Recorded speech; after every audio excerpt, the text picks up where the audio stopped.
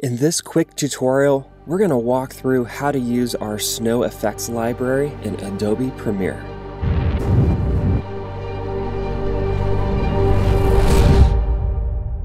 First, let's import snow into our project. We'll just head over here and right click and choose import. Then we'll select the entire snow folder. The effects are organized into two main categories each divided up into four different styles of movement, which makes it easy to locate the type of effect that'll match the shot you're working on. If you saw the snow trailer, you'll notice we used the effects across a wide range of shots, which helps tie them together and makes them feel like they all exist in the same world. Okay, so we've got this really cool car shot, and we're going to add some snow to make it feel a bit more cinematic. Let's open up the normal speed folder since this is a normal speed shot.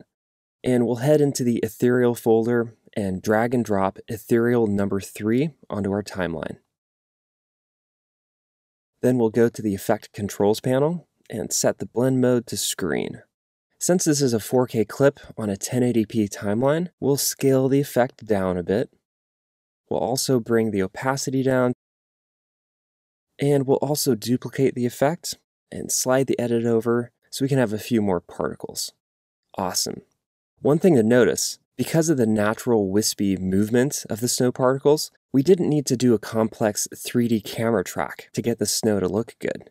You'll be surprised how realistic the snow can look, whether it's on shots that have a lot of camera movement or scenes that aren't very snowy to begin with. For this next shot, we want to add some darker colored snow without dropping the opacity. To do this, we're going to borrow a handy little technique that pro VFX artists use all the time called a luma matte, and it's really easy to do in Premiere. Since this is a 60p shot, we're going to open up the slow motion folder and drag and drop weightless number one onto track three of our timeline.